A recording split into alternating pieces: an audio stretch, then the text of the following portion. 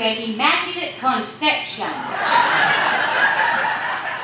oh, oh, it's not easy. Sometimes I wonder why I ever became a nun in the first place. You know, they don't know this, but I didn't have to be a nun. Mm-mm. I started out as a tightrope walker.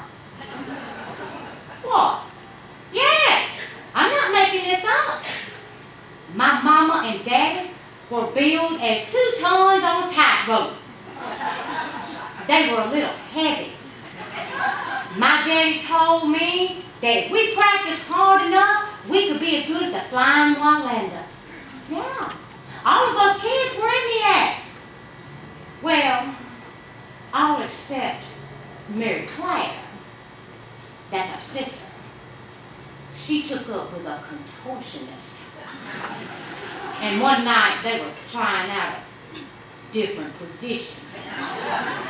And, oh, I don't want to talk about it. Oh, oh, oh, no. Ooh, ooh, what was that about? The act. Oh, yes, the act. Well, we got booked in London. And they stretched a wire across the river as a publicity stunt. No net, mind you. Well, there my mom and dad were. Oh, two tons on tightrope up there in the sky. When suddenly the wire snapped and boom, boom, two tons in the Thames.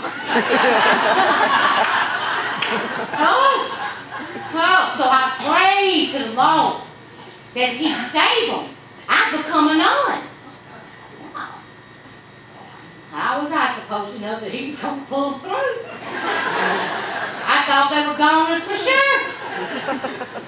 Well, he kept his end of the bargain, so I figured I'd better keep mine. So here I am.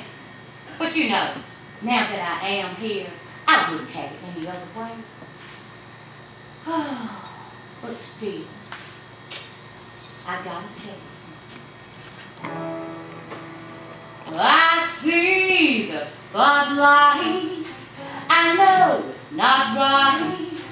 I simply can't resist nights it's bingo at the parish hall.